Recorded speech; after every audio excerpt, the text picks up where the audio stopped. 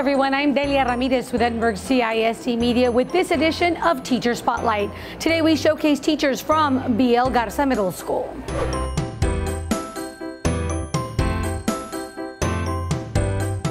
Because not every classroom and not every student fits into one size fits all, then uh, personalized learning is very important in my classroom. Uh, personalized learning allows, you know, for me to get to know my students' background as far as their family, what they like, what they don't like, their, their preferences.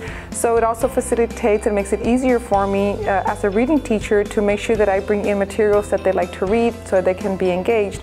And because all students learn in a very different way, uh, I do have different uh, methods of teaching. I personalize learning in my classroom uh, through instruction that is data driven.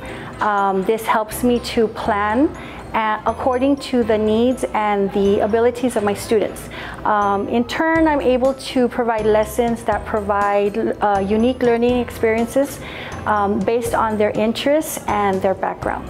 Uh, my goal through uh, personalized learning is to have my students be able to voice their mathematical um, thoughts the time is flying by and we want to continue wishing every teacher a successful school year. Reporting at BL Garza Middle School for Edinburg CISD Media, I'm Delia Ramirez.